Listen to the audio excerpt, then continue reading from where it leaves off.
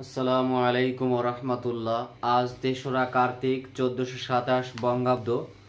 আমি ফরহাদ চলে আসছি সপ্তম শ্রেণির শিক্ষার্থীদের জন্যে বাংলাদেশের ক্ষুদ্র জাতিসত্তা এই প্রবন্ধটির তৃতীয় পর্ব নিয়ে আজকে হাজির হয়েছি। গত পর্বে দ্বিতীয় পর্ব পর্যন্ত আলোচনা করেছিলাম উপজাতি মারমা। আয়োজিত সাংরাই উৎসব তিন দিন ধরে চলে, এই পর্যন্ত। আজকে আলোচনা করব মণিপুরীদের এইখান থেকে। তো মণিপুরি কিন্তু উপজাতি হিসেবে আমাদের দেশে খুব খ্যাত, বিশেষ করে কাপড় বুননের জন্য। একটু খেয়াল করে শুনতে হবে। বাংলাদেশের ক্ষুদ্র জাতিগোষ্ঠীর মধ্যে মণিপুরী জাতি অন্যতম। এদের আদিনিবাস ভারতের মণিপুর রাজ্য। একটু খেয়াল করতে হবে, মণিপুর রাজ্যে আদিবাস হওয়ার কারণে এরা মণিপুরী। এদের মধ্যে কোনো কোনো সম্প্রদায়ের নিজস্ব বর্ণমালাও আছে। মণিপুরীরা যেখানেই বসতি স্থাপন করে, সেখানে কয়েকটি পরিবার মিলে গড়ে তোলে পাড়া। পাড়া অর্থ হল মহল্লা, পল্লী। প্রতিটি পাড়াতেই থাকে দেব মন্দির ও মণ্ডপ। মণ্ডপ বলতে বোঝায় পূজা বা সভা সমিতির জন্য সাজযুক্ত চত্বর। ওই মন্দির মণ্ডপকে ঘিরেই আবর্তিত হয় ওই পাড়ার যাবতীয় ধর্মীয় ও সামাজিক কর্মকাণ্ড। আসলে মণ্ডপ আমরা দেখি মন্দিরের সামনে একটা খোলা জায়গা থাকে, কিন্তু উপরে একটা ছাউনি দেওয়া থাকে ওইটা। মণিপুরী সমাজে পাড়া বা গ্রাম ও পাঞ্চায় বা পঞ্চায়েতের ভূমিকা খুবই গুরুত্বপূর্ণ। মণিপুরী জনগোষ্ঠী সাতটি গোত্রে বিভক্ত। মণিপুরী জনগোষ্ঠী কয়টি গোত্রে বিভক্ত? সাতটি। মণিপুরীদের প্রাচীন ধর্মের নাম আপকপা। মণিপুরীদের প্রাচীন ধর্মের নাম কি? আপকপা। তবে মণিপুরীদের অধিকাংশই এখন সনাতন ধর্মের চৈতন্য মতের অনুসারী। মণিপুরীদের একটি উল্লেখযোগ্য অংশ ইসলাম ধর্মাবলম্বী। সনাতন ধর্মাবলম্বী মণিপুরীদের প্রধান উৎসব রাস উৎসব, রথযাত্রা ইত্যাদি। সনাতন বলতে বোঝায় আসলে শিব পূজা। রাস উৎসব উপলক্ষে রাস নৃত্য ও মেলার আয়োজন করা হয়ে থাকে। মণিপুরীরা প্রধানত কৃষিজীবী। মণিপুরীরা প্রধানত কৃষিজীবী। ভাত, মাছ, শাকসবজি মণিপুরীদের প্রধান খাদ্য।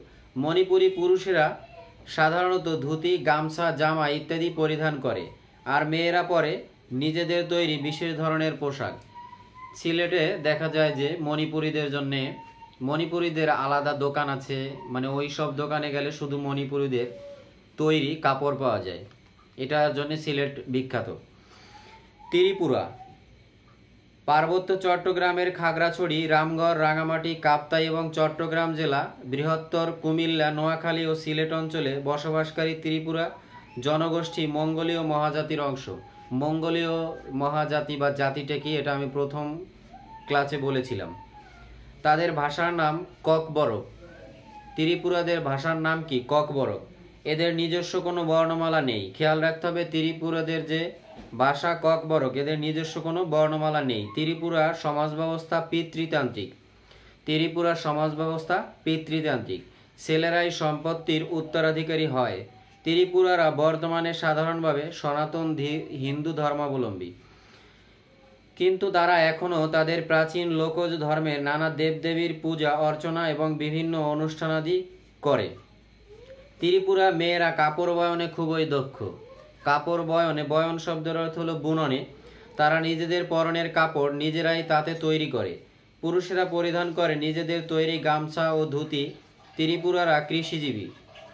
ওইদিকে আর কারা কৃষিজীবী ছিল? মণিপুরীরা কৃষিজীবী, এদিকে ত্রিপুরারাও কি কৃষিজীবী? তারা পাহাড়ে জুম চাষ করে। ত্রিপুরাদের সংগীত ও নৃত্য খুবই সমৃদ্ধ। তাদের মধ্যে বিভিন্ন সঙ্গীতের প্রচলন যেমন আছে, তেমনি আছে প্রচলন। একটা শব্দার্থ, এটা একটু লিখে রাখি, প্রচলন। প্রচলন বলতে বোঝায় কি? ব্যবহার, প্রচার। প্রচলন যেমন আছে, তেমনি আছে নানা প্রকারের নৃত্য। ত্রিপুরাদের প্রধান উৎসব নববর্ষ বা বৈশুক ত্রিপুরারা জনগোষ্ঠীর ত্রিপুরা জনগোষ্ঠীর বৈশুক মারমাদের সাংরাই ও চাকমাদের বিজু উৎসবের প্রধান, প্রথম অক্ষর নিয়ে বৈশাখী উৎসব এবং নববর্ষ উপলক্ষে পার্বত্য চট্টগ্রামের জাতীয় উৎসব। আবার একটু এখানে খেয়াল করি। ত্রিপুরা জনগোষ্ঠীর বৈশুক মারমাদের সাংরাই ও চাকমাদের বিজু উৎসবের প্রথম অক্ষর নিয়ে বৈশাখী। উৎসব এখন নববর্ষ উপলক্ষে পার্বত্য চট্টগ্রামের জাতীয় উৎসব। এরপরে চলে আসি সাঁওতাল।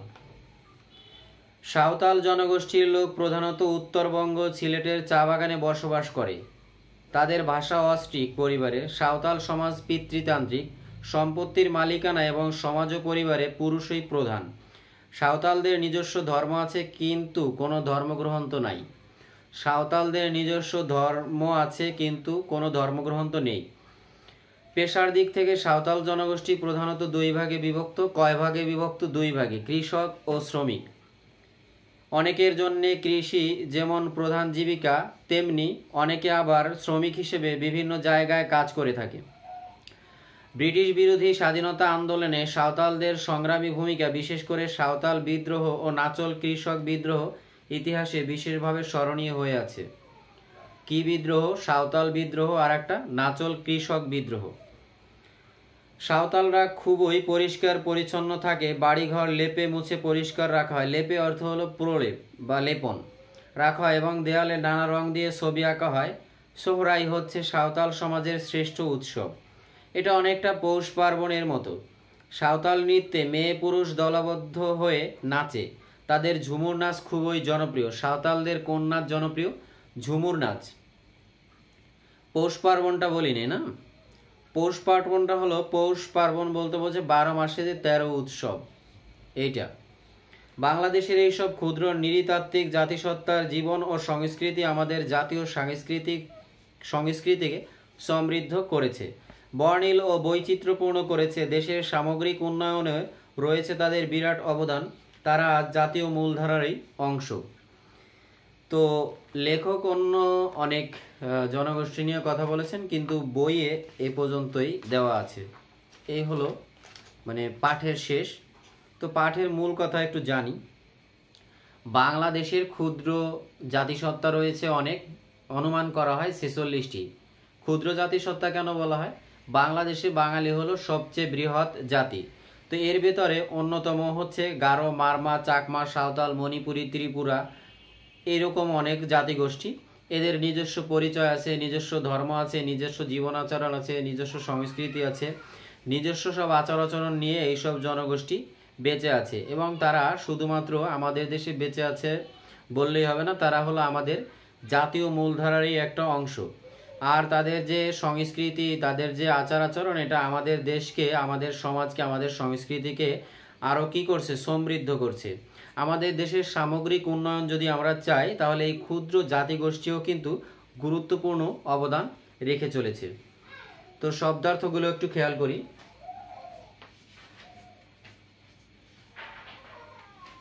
পাড়া শব্দের অর্থ মহল্লা। মহল্লা। মণ্ডপ। মণ্ডপ শব্দের অর্থ হলো ছাদযুক্ত পুজোর স্থান। পূজা বা সভা সমিতির জন্য ছাদযুক্ত চত্বর। পুজো বা সভা সমিতি। সভা সমিতির জন্য ছাদযুক্ত চত্বর। ছাদ যুক্ত চত্বর। সনাতন অর্থ হলো শিব পূজা। শিব। বয়নে মানে হলো বুননে বৈশুক। এই বৈশুকটা এখানে একটু কথা বলি। বৈশুক। বৈশুকটা আসলে কি? তাই না? বৈশুকের বই দেওয়া হলো বৈশুক। সরি এটা হবে বৈশুক না, এটা হবে বৈশাবী।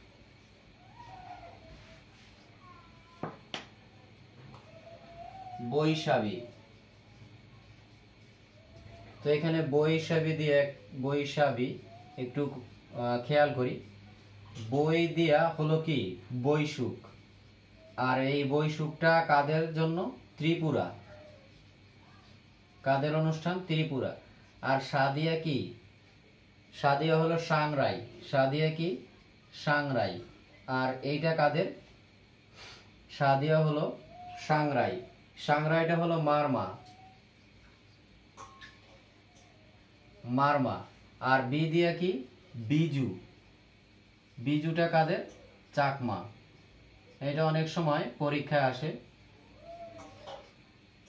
তো আমি যদি আবার সময় পাই, তাহলে এই যে ধর্ম অনুষ্ঠান বা ইত্যাদি আছে, শ্রম- শ্রমজীবী, কৃষিজীবী, কৃষক, বিভিন্ন উপজাতি, এটার একটা ছক ছক ইনশাল্লাহ করে দেখাবো।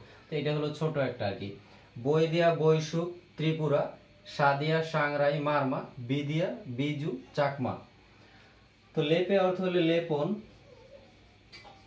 লেপে অর্থ হলো লেপন। মোচা পৌষ পার্বণ, বারো মাসে তেরো উৎসব। বারো মাসে তেরো উৎসব।